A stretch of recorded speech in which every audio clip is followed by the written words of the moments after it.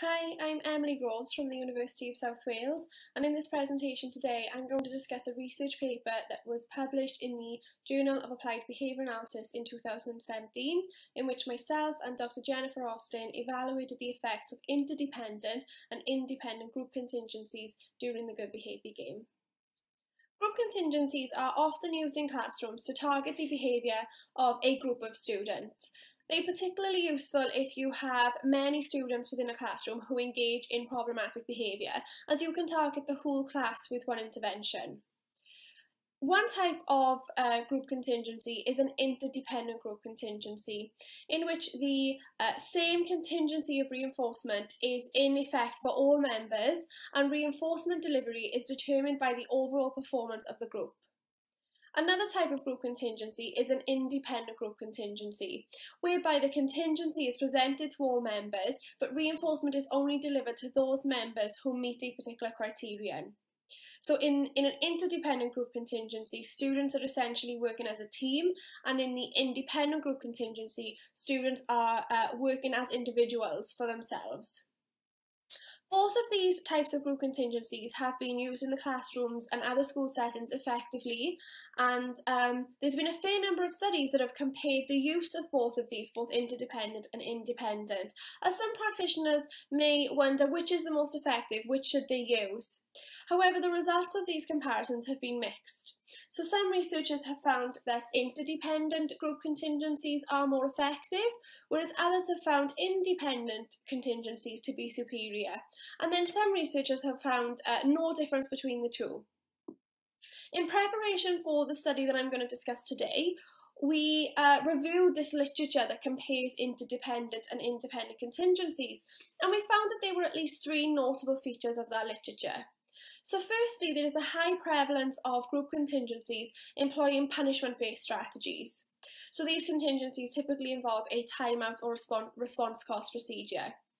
There were uh, far less research studies that have used group contingencies that employ reinforcement-based strategies in that in that group of literature that we that we reviewed. Given uh, our current ethical mandates to employ reinforcement-based procedures as a first course of action, more research comparing group contingencies that employ reinforcement-based procedures would be, uh, would, be, would be useful. Secondly, most of the studies that we reviewed uh, reported data on the behaviour of a group of students rather than individual student behaviour. Although this approach is appealing when uh, you're running a study focused on classroom management, looking at how a, a system affects individual uh, students' behaviour would provide a more sensitive estimate of a treatment's efficacy. Additionally, uh, individual data may be particularly important when only a small number of students within a class engage in problematic behaviour. And then thirdly, the majority of the studies that we reviewed employed multi-treatment reversal designs to dem demonstrate experimental control and we found that these didn't counterbalance across classrooms, so there's a risk of sequence effects. Although there are some limitations to the group contingency literature, group contingencies are commonly used in classrooms and there is a lot of evidence to support their use in doing so. The Good Behaviour Game is a classroom management intervention that employs an interdependent group contingency, and it has a wealth of empirical evidence to support its use. It's previously been used to increase appropriate classroom behaviours, such as active participation in class and assignment completion, and it's also been used to decrease inappropriate behaviours, such as verbal or physical disruption. Despite the overwhelming evidence to support the use of the, of the GBG, some teachers may have concerns about the interdependent group contingency component of the intervention, particularly if they have low confidence in their students' abilities to work in teams. Dr. Austin and I were conducting a teacher training on the good behaviour game, and some of the feedback that we were receiving from teachers was that they didn't believe their students could work in teams, that they didn't have the social skills ne necessary to work in teams. Some teachers may also perceive the interdependent group contingency to be unfair to students. As teachers' perceptions of treatment acceptability may have important impl implications for the adoption and the integrity of classroom systems, it's important to investigate a way in which the good behaviour game can be adapted to meet teacher preferences. The purpose of the current study was to compare interdependent and independent group contingencies within the context of the good behaviour game. And we also sought to address limitations in the current literature, examine student preferences for type of group contingency via a group preference condition, and to assess teacher perceptions of the good behaviour game. And this was to be carried out in a classroom with, with students whose teachers had raised concerns about their students' abilities to work in teams. The participants in our study were four children aged between 9 and 10 years old who attended a pupil referral unit. A PRU is a school for children who've been excluded from the mainstream schools due to their challenging behaviour. Although there were seven children in the class in total, Reese, Thomas, David and Owen were identified by their teacher as being the most disruptive children in the class, so therefore we only collected data on those four children. Data was collected during work activities in which the students were expected to work independently. We collected data on three target behaviours, so these were verbal disruption, inappropriate sitting and off-task behaviour, and these operational definitions were developed based on researcher observation in the classroom and through discussion with the teacher.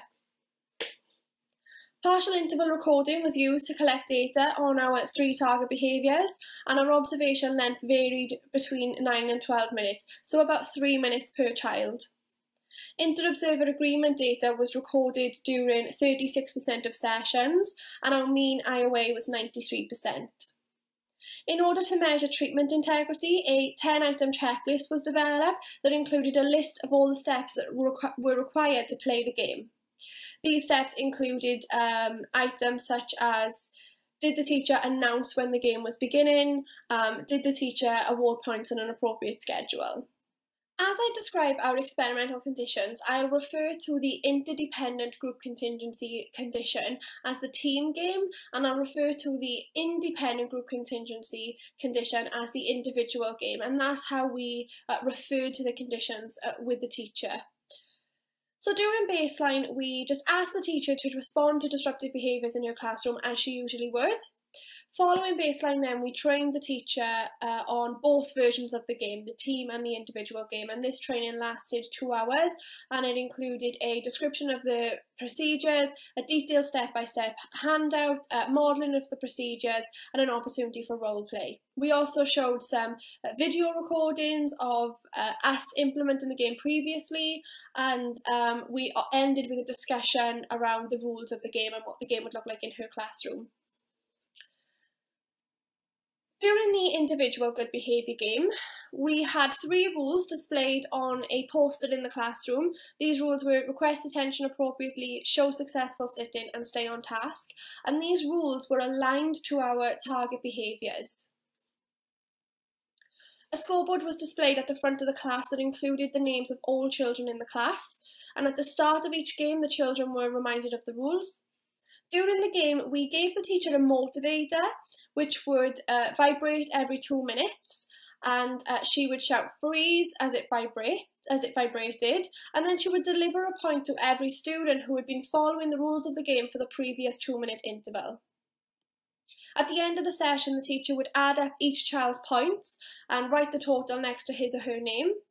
The teacher re then revealed the mystery number, and any child who received on or above that number were awarded with a mystery prize. So the children were unaware what the criterion was for winning um, until the end of the game, and they were unaware of what prize they were working for until the end of the game. Prizes included a game of Uno, uh, a piece of fruit, five minutes free time, um, a drawing on or a drawing on the whiteboard for five minutes. So these are just some uh, of the pictures of our poster that the teacher created uh, that displayed our rules and we had some visual aids to go along with that. And then we had the envelopes with our mystery prize and our um, mystery number. During the team game, so this is the interdependent group contingency, all of the procedures as I just described for the individual game were the same. However, uh, we introduced this interdependent group contingency. So what that looked like was we divided the class into two teams. When the timer went off, uh, the, the teacher would then deliver a point to each team if all children within that team had been following the rules of the game. When we were deciding on who was in each team, we asked the teacher to just ensure that there was at least one child within each team who could model appropriate behaviour. We then uh, ended on a group preference condition. So uh, what this looked like was at the start of every session, we would ask the students to write down which version of the game they would like to play, the individual game or the team game. And then the teacher collected their votes and selected, uh, selected one at random. Whichever game was selected at random would be the game that the version of the game that would be played that session. Research design was an alternating treatments design, so we had our initial baseline, followed by a phase of alternating treatments with an interspersed baseline, and then we ended with our group preference condition. This graph displays the results for Reese, one of our target children. So I'll just explain the graph first. So along the x-axis we have the session number and along the y-axis we have the percentage of intervals each behaviour occurred. The top tier displays the results for verbal disruption, the middle tier inappropriate sitting and the bottom tier off-task behaviour. So as you can see from our uh, initial baseline, Reese engaged in uh, moderate levels of all three behaviours with lots of variability uh, with inappropriate sitting. We then introduced our alternating treatments. So here the closed triangles represent the team good behaviour game and the open circles represent the individual good behaviour game. Closed squares are our interspersed baseline. If there are any missing data points along the data path, then these indicate that Reese was missing for that session. He was absent from school. So as you can see, both versions of the game were effective at reducing Reese's disruptive behaviour. We observed immediate decreases in verbal disruption, inappropriate sitting and off-task behaviour. However, we didn't see any differences in effectiveness between the two versions of the game, so they were both very effective. We had lots of overlap uh, in those two data paths. During the group preference condition that we ended on, uh, the team game was chosen three times and the individual game was chosen twice. Reese engaged in zero levels of behaviour during all sessions in this group preference condition for a team and individual good behaviour game, with the exception of one session. The next graph displays the results for David. During baseline, David engaged in low to moderate levels of verbal disruption and moderate to high levels of inappropriate sitting and off-task behaviour. Upon introduction of our alternating treatments phase, we observed decreases in all behaviours in both versions of the good behaviour game, with zero or near zero levels of inappropriate sitting and off-task behaviour. This effect then continued uh, into our group preference condition. The next graph displays the results for Thomas and Owen, Although we collected data on every dependent variable for each child, we've only displayed the results for those behaviours that are most problematic for that child. Thomas and Owen engaged in moderate levels of verbal disruption and off-task respectively during baseline. If we look at Thomas's alternating treatments phase first, we can see that during both the team and the individual good behaviour game sessions, his behaviour reduced to near zero levels. A reduction in variability was also observed during the team and the individual good behaviour game relative to baseline. Interspersed baseline sessions in results indicate that uh, behaviour increased to similar levels observed during the initial baseline. So when we uh, had those sessions where we removed the game, uh, the behaviour did increase back up to uh, pre-intervention levels. For Owen, off-task behaviour reduced in the team game, however the individual game produced slightly further reductions. However, during the interspersed baseline sessions, these results indicate that when the game wasn't played, uh, levels of off-task behaviour were still higher than when either the, the team or the individual game was played. During the group preference condition, Thomas engaged in zero levels of verbal disruption in both the team and the individual game. Owen missed two of the five group preference conditions, however, however when he was present, off-task behaviour remained low uh, in both versions of the game.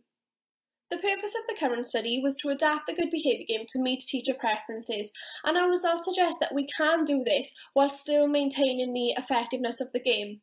We observed decreases in verbal disruption, inappropriate sitting, and off task behaviour in all participants during both the individual good behaviour game and the team good behaviour game. Not only are our procedures a departure from uh, typical group contingency arrangements in classrooms, they're also a departure from original good behaviour game procedures as described by Barrish, Jones and Wolf in 1969.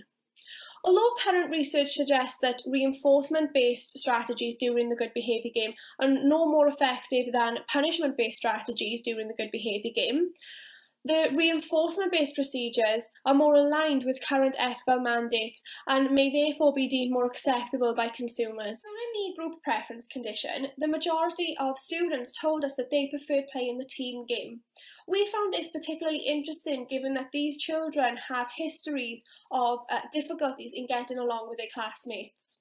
The children also told us that they enjoyed being part of a team and uh, getting more help from their peers. Although this is highly speculative, it is possible that these students who have been um, rejected by their mainstream peers because of their problem behaviour may have enjoyed the opportunity to uh, work together in a team towards a common goal. Given the anecdotal evidence of um, increased social and team working skills during the good behaviour game, research is needed to uh, explicitly measure these variables. Since we published this study, we have actually uh, conducted research where we measured uh, positive interactions and uh, negative peer interactions during the good behaviour game. And what we found was that when the game was being played, positive peer interactions increased and negative interactions between peers decreased. This, uh, this study has uh, since been accepted for publication in JABA and should be available to view later this year. At the end of the study, we conducted social validity assessments with the teacher, and she noted that the children in her class enjoyed playing the good behaviour game. She found it easy to implement, and she said she would continue to play the game in the future. Again, these are all really important considerations for teachers and things that they can they think about when they are choosing behaviour management strategies for their classrooms. As we conducted the study in a small classroom of just seven children in a pupil referral unit, replication should be conducted in larger classrooms and maybe uh, mainstream classrooms, and potentially with larger teams, as many small teams may become unmanageable for teachers. Thank you for taking the time to listen to my presentation today, and if you have any questions about uh, this study, then feel free to send me an email and I would be happy to chat to you about it further.